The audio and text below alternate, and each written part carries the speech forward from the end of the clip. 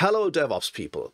Welcome to FullStack Live Cool Tools, where I introduce you to nifty open source utilities.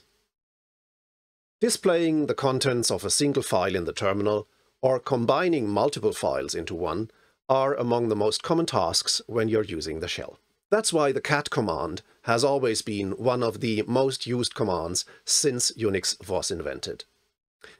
In this episode, we'll take a closer look at cat, as well as its more modern alternative, bat.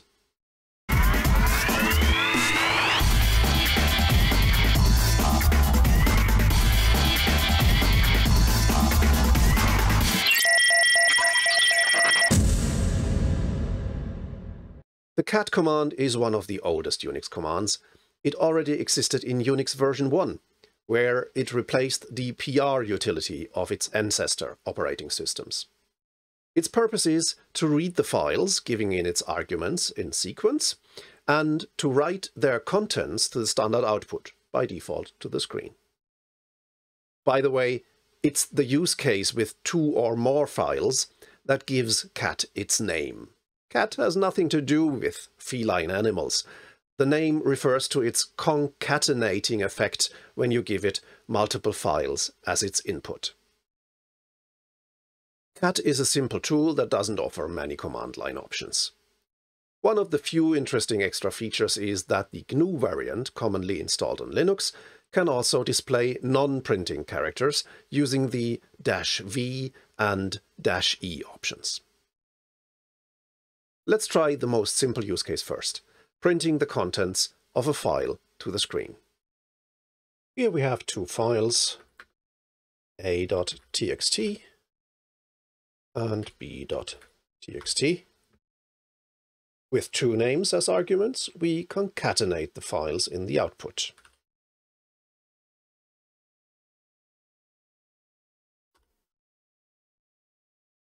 Using the shell's I.O. redirection features allows us to write the output to another file.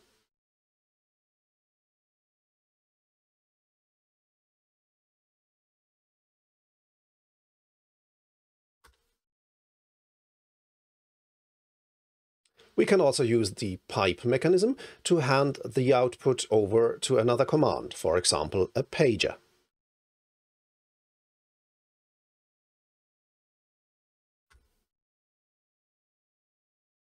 Time to introduce some controversy. Using cat to output a single file simply for the purpose of piping its contents to another command is by many considered UUOC, a useless use of cat. The same effect can be achieved in a simpler manner by redirecting standard in, after all.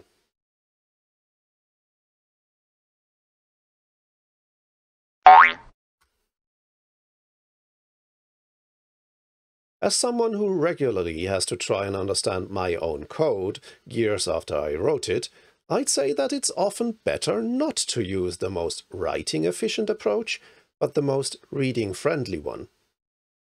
First, let me demonstrate how quickly a multidirectional input-output sequence can become confusing.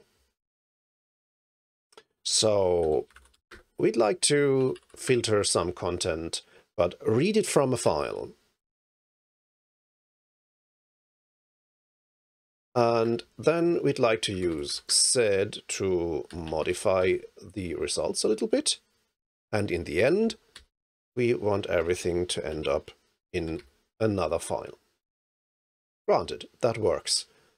But I feel that the fact that the standard in redirection is pointing against my reading direction interrupts the flow. Now compare that with this nicely linear pipeline from left to right we grab our input text,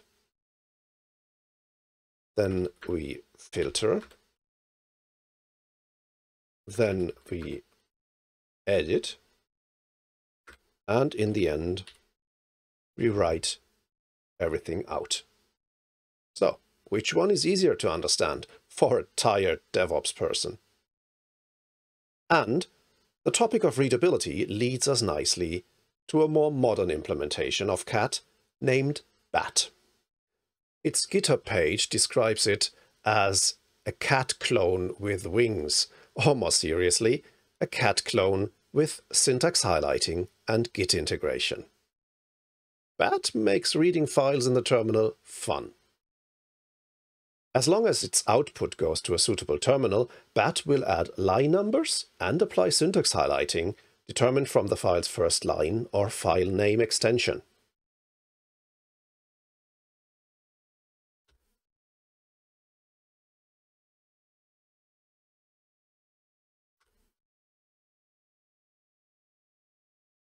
If BAT can't determine the correct syntax on its own, you'll have to help out a bit. For example, let's query an API.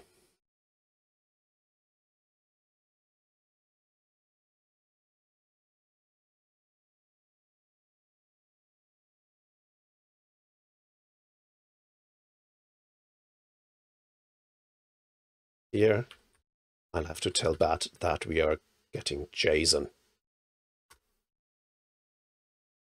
Isn't that neat? Bat will also automatically use pagination when a file has more lines than will fit on the screen.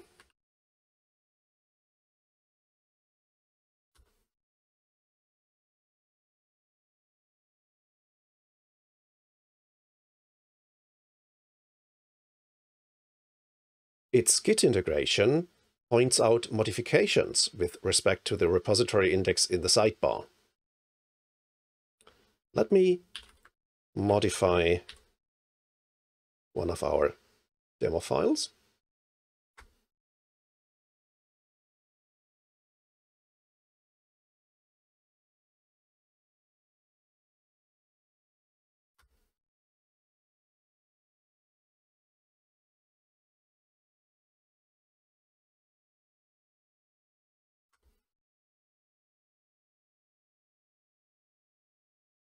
Bat also improves how non-printable characters are displayed.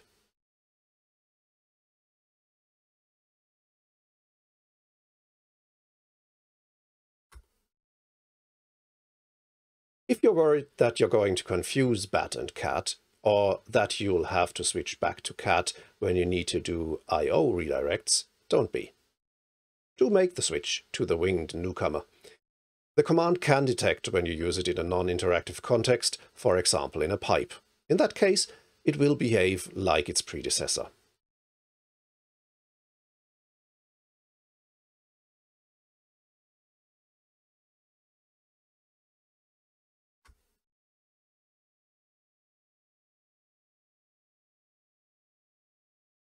Let me finish with a note to Debian and Ubuntu users.